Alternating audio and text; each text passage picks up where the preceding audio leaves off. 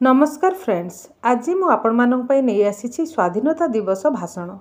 ବରେଣ୍ୟ ସଭାପତି ମହୋଦୟ ପୂଜ୍ୟ ଗୁରୁଜୀ ଗୁରୁମାବୃନ୍ଦ ମଞ୍ଚାସୀନ ଅତିଥିବୃନ୍ଦ ତଥା ମୋର ସହପାଠୀଗଣ ଉପସ୍ଥିତ ମୋର ସାନ ବଡ଼ ଭାଇ ଓ ଭଉଣୀମାନେ ଆଜି ଏହି ତ୍ରିରଙ୍ଗା ପତାକା ତଳେ ଆମେ ସମସ୍ତେ କାହିଁକି ଦଣ୍ଡାୟମାନ ତାହା ସମସ୍ତଙ୍କୁ ଊଣା ଅଧିକ ଜଣା। ତଥାପି ସେ ବିଷୟରେ ମୁଁ ମୋର ସ୍ୱଳ୍ପ ଜ୍ଞାନରେ ଆପଣମାନଙ୍କୁ ସମ୍ୟକ୍ ଧାରଣା ଦେବି। ଆଜି ପବିତ୍ର ସ୍ୱାଧୀନତା ଦିବସ।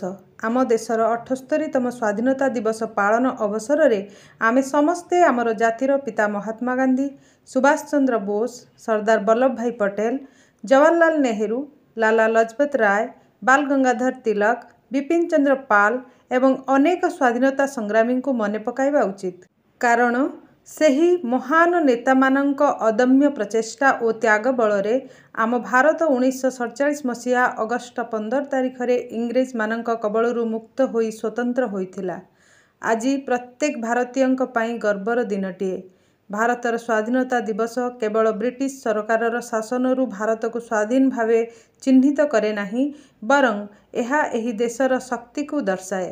ସ୍ୱାଧୀନତାର ଅଠସ୍ତରୀ ବର୍ଷରେ ଆମ ଭାରତ ବିଶ୍ୱରେ ନିଜର ସ୍ୱତନ୍ତ୍ର ପରିଚୟ ସୃଷ୍ଟି କରିପାରିଛି।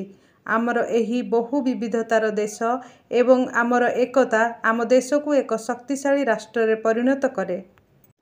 ତେଣୁ ଆମେ ସମସ୍ତେ ଆଜିର ପବିତ୍ର ଅବସରରେ ଶପଥ ନେବା। ଆମେ ମଧ୍ୟ ଆମ ଦେଶକୁ ମହାନ କରିବା ପାଇଁ ଜଣେ ସଚ୍ଚୋଟ ନାଗରିକ ଭାବରେ ଆମର କର୍ତ୍ତବ୍ୟ ପାଳନ କରିବା। ମୋର ବକ୍ତବ୍ୟଟିକୁ ଅତି ଯତ୍ନର ସହିତ ଶୁଣିଥିବାରୁ ମୁଁ ଆପଣମାନଙ୍କୁ ଧନ୍ୟବାଦ ଦେବାକୁ ଚାହେଁ। ଜୟ ହିନ୍ଦ।